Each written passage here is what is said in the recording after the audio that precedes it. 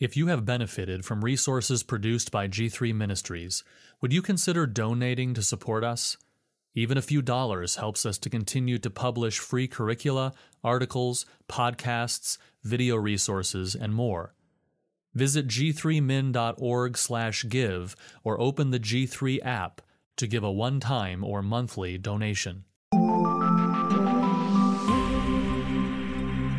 Articles from G3 Ministries. Does Revelation 5 9 prove that all kinds of cultural expressions will be in heaven? Written and recorded by Scott Aniol. A passage often cited by evangelicals to prove that every cultural expression is legitimate, since people from every nation will be admitted into heaven, is Revelation 5 9. And they sang a new song, saying, Worthy are you to take the scroll and to open its seals, for you were slain, and by your blood you ransomed people for God from every tribe, and language, and people, and nation.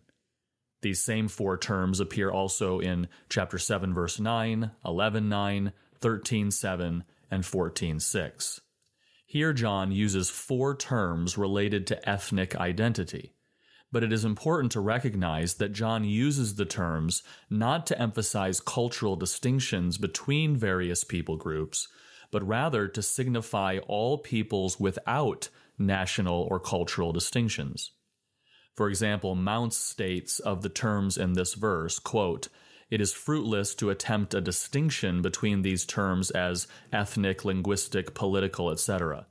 The seer is stressing the universal nature of the church, and for this purpose piles up phrases for their rhetorical value. In other words, terms like ethnos, nation, phyle, tribe, glossa, language, and laos, people, do not refer to the culture or behavior of people, but rather to the people themselves, and ethnic distinctions among people in heaven will be absent. McLeod summarizes common definitions for such ethnicity related terms. Quote, 1. The word tribe, phyle, denotes a group bound together by common descent or blood relationship. In the New Testament, most references are to the tribes of Israel.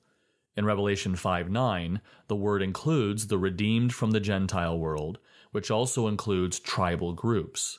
Bauer, Arndt, and Gingrich say that phyle means, quote, a subgroup of a nation characterized by a distinctive bloodline or tribe. Two, tongue, glossa, refers to a people group distinguished by their language. Three, people, laos, speaks of a race, that is, a body of people with common cultural bonds, a people group. 4. Nation, ethnos, means a body of persons united by kinship, culture, and common traditions. Unquote. Indeed, the New Testament perspective on ethnicity seems to be that of eliminating ethnic distinctions rather than highlighting them. The use of another term related to ethnicity, Hellene, Greek, illustrates this point. According to Paul, in Christ there is no distinction between Jew and Greek. Galatians 3:28, Colossians 3:11, and 1 Corinthians 12:13. Rather, all are united into one newly distinct body. These examples of the use of terms related to ethnic identity by New Testament authors indicate that the terms signify distinct groups of people that unify around common heritage, geographical location, language, and or custom.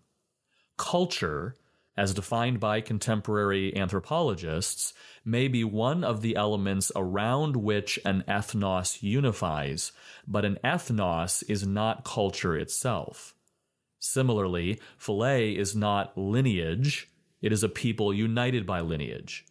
Likewise, although glossa is used to specifically designate languages, in these cases it is used metaphorically to signify people united by a common language. In the same way, laos and ethnos identify groups united by politics or culture, but they do not equal culture itself.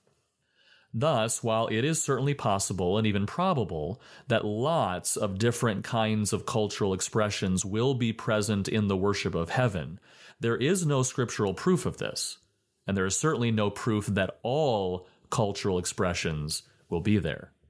For one thing, it is at least instructive to note that at least one aspect of cultural diversity is eliminated in this heavenly picture their clothing. Revelation 7 9. All of these people from various tribes, peoples, and nations are wearing the same thing white robes. Where is the cultural diversity in that? So while I would never assert with certainty that there will be only one kind of musical expression in heavenly worship, the fact that all people are wearing the same thing at least allows for that possibility. I should also quickly say that I have no idea what the worship will sound like. My guess is that it will be distinct from anything we know here on earth, but that is only a guess. You can read this essay at g3min.org.